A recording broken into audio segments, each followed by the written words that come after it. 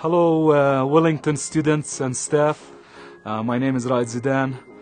I'm here at Everest Base Camp, uh, almost 5,370 meters in Nepal.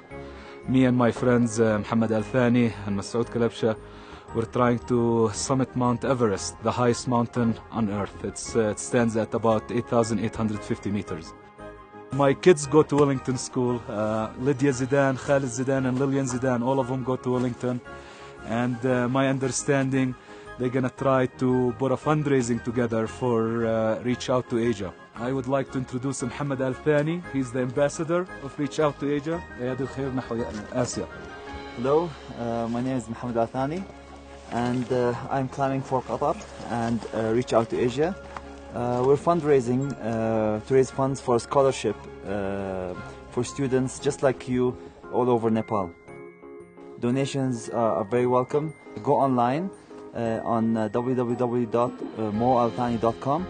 Uh, you can donate online or physically uh, at your school. So let me tell you a little bit more about Everest Base Camp. This is where we hang most of the time, uh, where Muhammad is going right now in Masoud.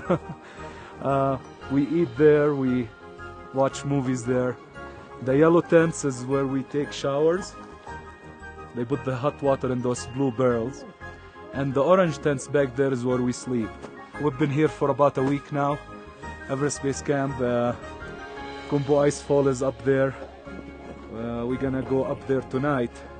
Arabs with Altitude is our team name, and uh, on it is uh, Muhammad Al Thani. He'll be the first Qatari man to summit Mount Everest.